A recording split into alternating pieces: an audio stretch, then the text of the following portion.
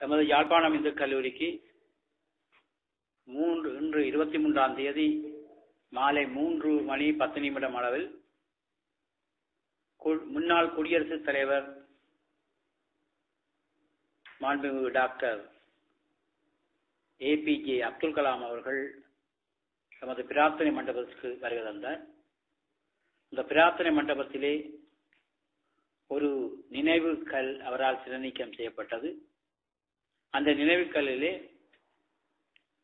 பத்தொன்பதாம் நூற்றாண்டில் வருகை தந்த சுவாமி விவேகானந்தருடைய படமும் இருபதாம் நூற்றாண்டு வருகை தந்த தேசபிதா மகாத்மா காந்தியின் படமும் அங்கு வைக்கப்பட்டது.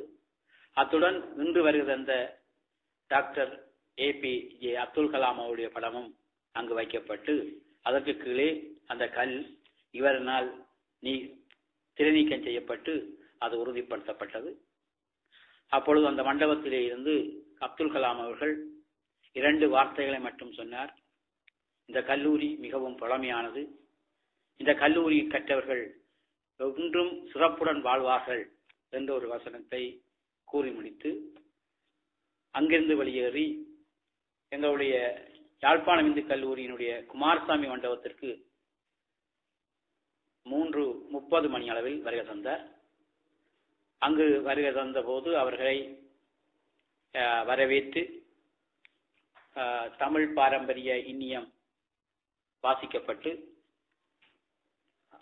பின் குமாரசாமி மண்டபத்திற்குள்ளே ஆயிரத்துக்கு மேற்பட்ட மாணவர்களும் ஆசிரியர்களும் கல்வி திணக்கல உத்தியோகத்தர்களும் பழைய மாணவர்களும் ஒன்று கூடி அங்கு பெரும் வரவேற்பு அளிக்கப்பட்டது. ஆரம்பத்தில் குத்து விளக்கு ஏற்றப்பட்டு பின்னர் மேடையிலே ஆஹ், அங்கு அவர்கள் அமரப்பட்டார்கள். அந்த மேடையிலே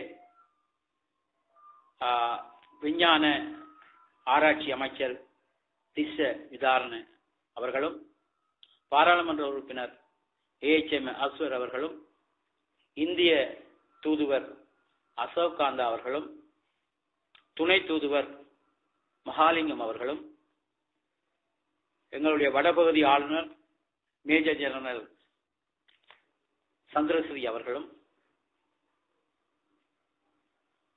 வடமாகாண ஆளுநர் செயலாளர் இளங்கோன் அவர்களும் அங்கு மேடையிலே அதிபர் சகிதம் வீட்டிருந்தார்கள் முதல் வரவேற்புரையினை வடமாகாண ஆளுநர் செயலாளர் இளங்கோன் அவர்கள் நிகழ்த்தி வைக்க அதனைத் தொடர்ந்து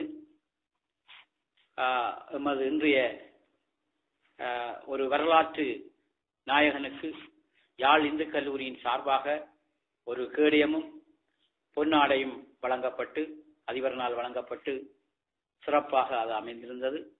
அதனைத் தொடர்ந்து பழைய மாணவர்கள் சங்கத்தின் சார்பாக திரு கைலாயபிள்ளை அவர்களும் திரு நீலகண்டன் அவர்களும் இணைந்து டாக்டர் அப்துல் கலாம் அவர்களுக்கு பொன்னாடை போர்த்தி மலர் மாலை அணிவித்து ஒரு பட்டயமும் அவர்களுக்கு வழங்கப்பட்டது.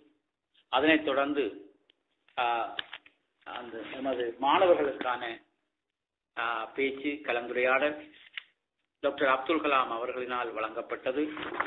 அந்த கலந்துரையாடல் ஏறத்தாழ ஒரு மனசியாலம் அளவில் இடம்பெற்றன.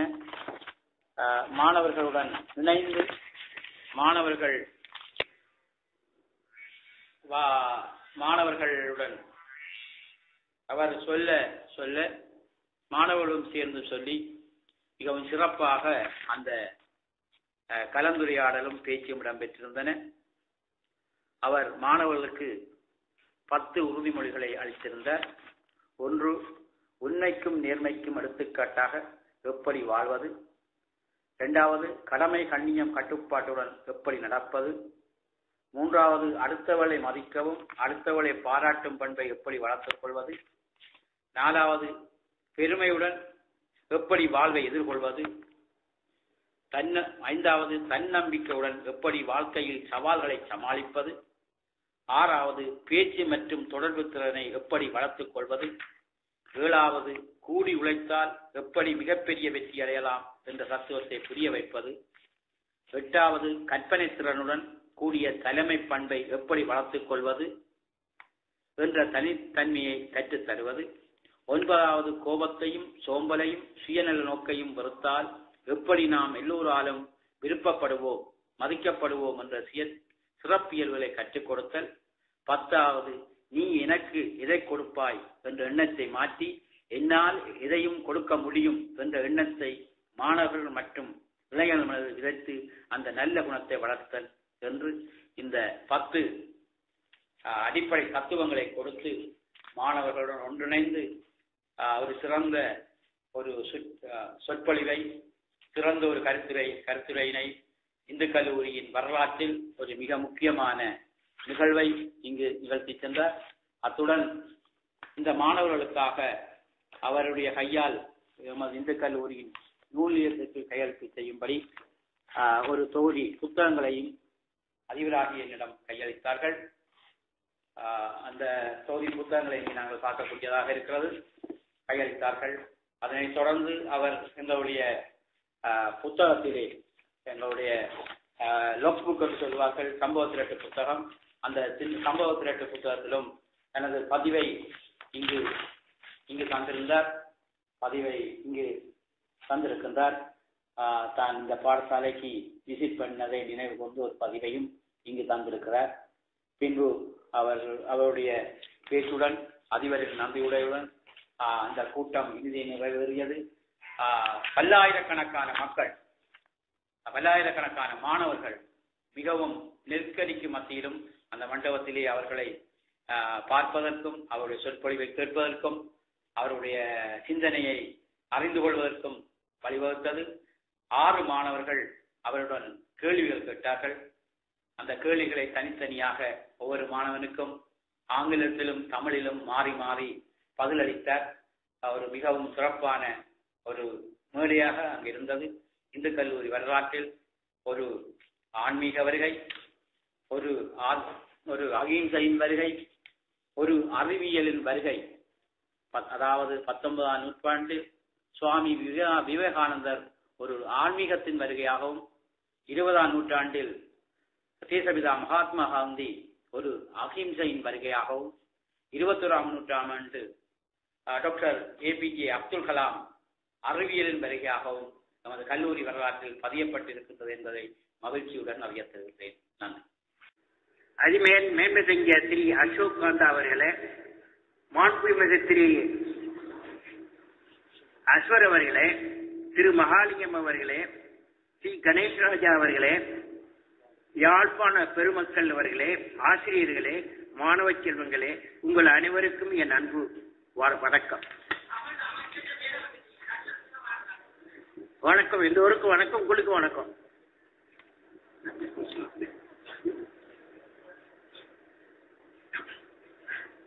நண்பர்களே யாழ் இந்து கல்லூரியில் வந்து நூற்றுக்கணக்கான மாணவர்களை சந்தித்து உரையாட கிடைத்த வாய்ப்புக்கு நான் மிக்க மகிழ்ச்சி அடைகிறேன்.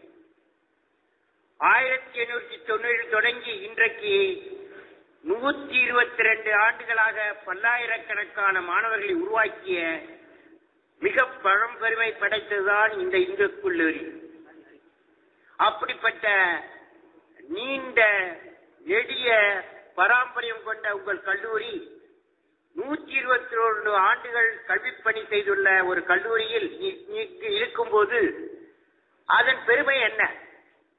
அதன் பெருமை என்ன என்று நினைத்து பார்த்தேன். நினைக்க நினைக்க நம் பால்வெளியில் அதாவது மில்கிவே நம் பால்வெளியில் நடக்கும் ஒரு அருமையான நிகழ்ச்சியை பற்றி சொல்ல விரும்புகிறேன். நண்பர்களே உங்களுக்கு எல்லோருக்கும் தெரியும் பூமி தன்னைத்தானே சுற்ற இருபத்தி நாலு மணி நேரமாகும். இரவும் பகலும் நிகழ்கின்றன இந்த நிகழ்ச்சி. அதே பூமி சூரியனை சுற்றுகிறது அது ஒரு சுற்று சுற்றுவதற்கு ஒரு வருடமாகிறது இல்லையா? அதாவது உங்கள் இந்து கல்லூரி பூமியில் இருப்பதால் இதுவரை நூறுத்தி இருபத்தோரு முறை சூரியனை சுற்றி சுழன்று பல மாணவ நட்சத்திரங்களை உருவாக்கியுள்ளது. அந்த அந்த மிகப்பெரிய கல்விப்பணிக்கு உங்கள் எல்லோருக்கும் என் வாழ்த்துக்கள். எனவே யாழ் இந்து கல்லூரியையும் அதை நிறுவிய நிறுவனர்களின் தொலைநோக்கு பார்வையையும் அவர்களின் சமுதாய பார்வையையும் தமிழ் வழி கல்வி முறையையும் தமிழை வளர்க்கவும் கல்வி தமிழ் மாணவர்களுக்கு கிடைக்க இந்த கல்லூரியின் நிறுவனங்களும் அவர்கள் பின்பாக வந்த நிர்வாகிகளும் ஆசிரியர்களுக்கும் இந்த கல்லூரியில் படித்து பயின்று உலகத்தில் பல்வேறு உயர்ந்த பதவியில் இருக்கும் முன்னாள் மாணவர்களுக்கும் இந்நன்னாள் மாணவர்களுக்கும் எனது மனமார்ந்த நல்வாழ்த்துக்கள் தெரிவித்துக் கொள்கிறேன்.